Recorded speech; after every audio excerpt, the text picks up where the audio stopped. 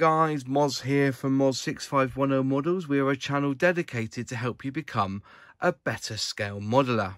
Tonight, we're going back to 2005 when Heller released this VAB 4x4. VAB in French is Véhicule de l'Avant Blindé. I think that's how you say it. Véhicule de l'Avant Blindé. That's how they say it. But in English, it's an armoured personnel carrier. They were built by Renault, and you can see that on the box there. It has the Renault actually on the front there. And I think they were just basically used for the French army. This kit originally was manufactured in 2005 by Heller. They released it again in 2005 as a model set where you get your brushes, your glue and your paint. They did that again, but with a new scheme in 2009. They then reboxed it 2013 and also in 2017. Heller are still producing this kit, but you can buy them mostly as a set. So they come with everything you need to build it. You could say like a starter set from Airfix, but it's it's a rare one. This is one of the original ones that were actually released in 2005. Hence, no paint, no glue, and no brushes. So, looking in the box, sorry, looking at the box, not a lot really. It just tells you the paints that you need 35, 53, 93, and 119. I don't really know which paint manufacturer they're saying there, but should we just put down as Humbrol? We'll have a look in a minute and just see what they are. Um, 39 pieces. The size of it is 88.3 centimetres by 2.9 centimetres by 3.5 centimetres. I know it says millimetres there, but, you know, 83 millimetres, you know, so... It's a 172 scale. Um, the number of the kit is 79898. Okay.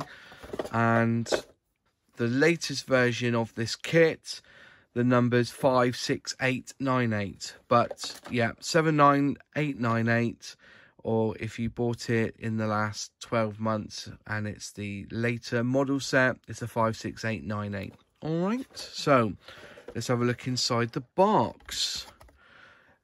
As per normal, Heller, you have um, two sprues, the body, a decal sheet there. It's an Esky one.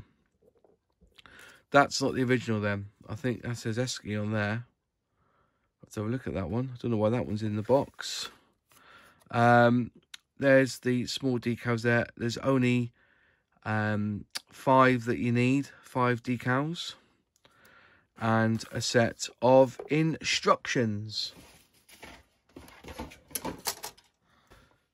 So first off, let's look at the instructions. It looks like just one sheet of paper and you open it up and obviously you could look at it as a book. So uh, one, two, three, four, five, six, seven parts to build in this. So on the top here, you have a call out of the of the sprues.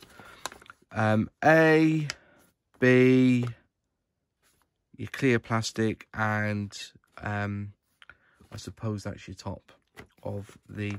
So just looking here, 33 Nor matte and 119. So yeah, they're using Humbrol colours here, which is obvious really for 2005 yeah, I yeah. So using Humbrol colours.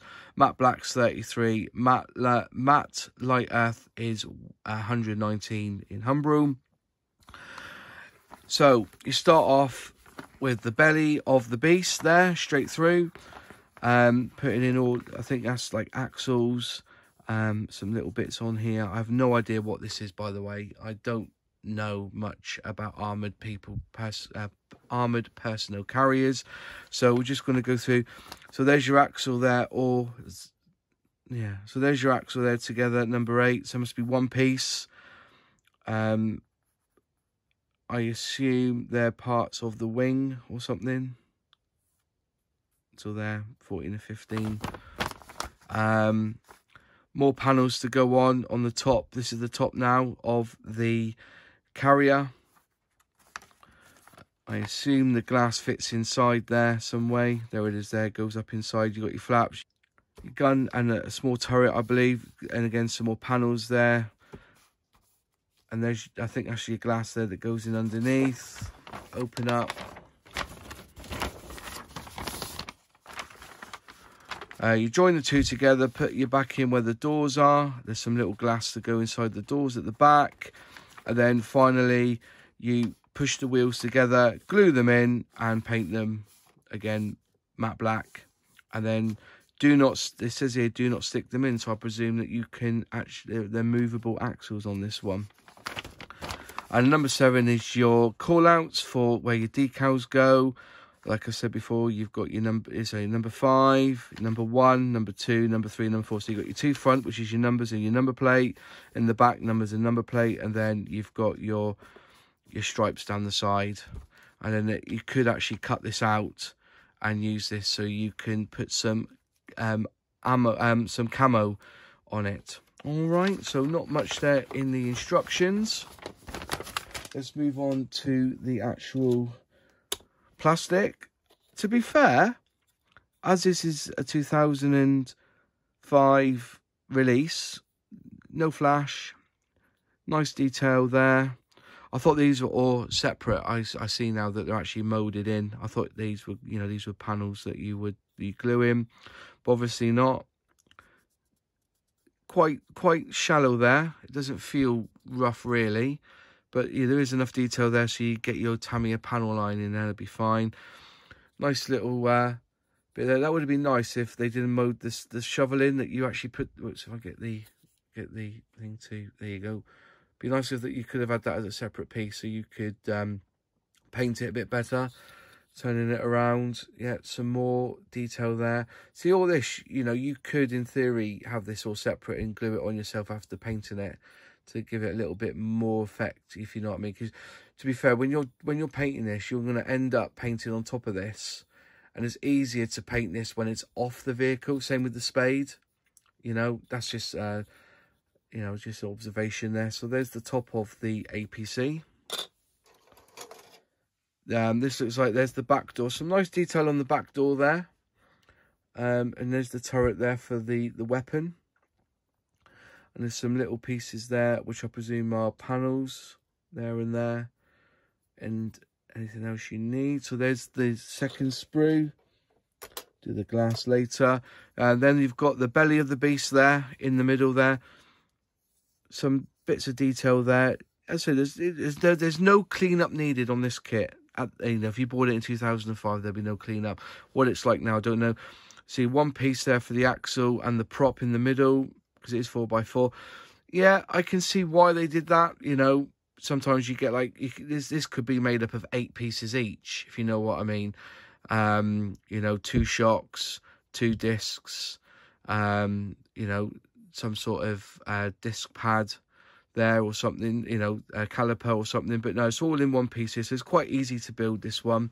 But then again, it's only 172, isn't it? It's I'm think sure sometimes when I do these kits, I think 135, and it's not. It's 172. And it's not even you know, it's a bit better than 176. It'd be even smaller. And the wheels, yeah, very very. You've got some nice detail there on the edge. As you can see that. So so you got some nice bit of nice bit of tread there so you can look at and there's the inside and I think if you put them together I think you're going to end up with quite a nice bit of kit. There's a bit more there. So I thought that was um, the uh, the diff there. It might be the diff. It could even be the diff there. Yeah. And there's some parts there which I presume goes which are the the sides the side bits. I don't know what they are to be honest but yeah, it's another kit from Heller. Uh, it's a basic one, but I think you can do a lot with this. If you were doing a diorama and you want to do something Afghani style for the um, the, the is it Afghan Afghani Afghanistan war, you can do that quite well. And there's some glass here. And for, uh, you won't see this, I don't think, but there are push up. I think that's all you see. You you might need to get, put this in a bit of clear, or some you know, some sort of varnish, make them look like gloss. The older, but yeah, it look look really good. So there you are. There's there's the plastic sprues of the Heller kit. Just very quickly, ignore that you do not get these in that kit. This is from an Esky kit. I actually bought the kit secondhand. I bought a job lot of them. And um, this was in the box for some reason. So ignore that decal. So just a very, very quick history because I don't want to go too much into this. Um, this uh, VAB was a support vehicle designed by Renault of France. It entered service in 1976 and about 5,000 were produced. And in 2019, it is the standard APC of the French army and it has been exported to 15 countries. It saw combat in Africa, Asia and Europe. It was originally designed as a wheeled troop transporter complementing the tracked AMX 10P the specification for the project called for an NBC-proof amphibious. It's either propulsion in water by its wheels or it's got twin water jets on this one. Light armoured vehicle to provide infantry with basic protection against shrapnel and light infantry weapons. The features were dictated by its possible usage in the event of an all-out conventional war breaking out against the Warsaw Pact. In particular, the amphibious capabilities were needed to bridge the rivers in eastern France and in Germany. The machine gun on the VAB is an M2HB 12.7mm machine gun and in the open turret. The light version sports the AA52 7.5mm machine gun in a similar arrangement. The vehicle weighs 13.8 tonnes and it carries 10 passengers with two crew, one machine gun armament on there, which I've already mentioned, and the engine is a Renault MIDR 062045, which produces 320 horsepower. And that's it. That's all I got on this vehicle, I'm afraid. I don't really know much about this vehicle, but there you go. There's a kit for you. If you've built this kit, put it in the comments below. I'd like to know what your thoughts are on Heller and this VAB 4x4. Again, thanks for watching. If you like the video, click like. If you've not subscribed but like to subscribe, please subscribe. And any comments, any questions, put them in the comments below. Thanks for watching and I'll see you in the next video. Cheers.